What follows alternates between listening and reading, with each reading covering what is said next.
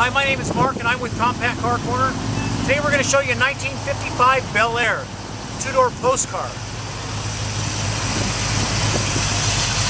Got a nice little 327 with power steering, power disc brakes.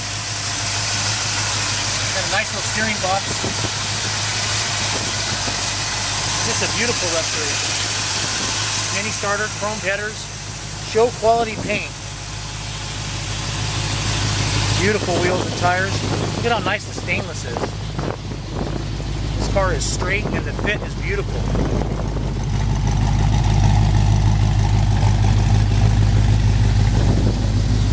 Gorgeous. She's truly a showpiece and so next we're going to go for a drive.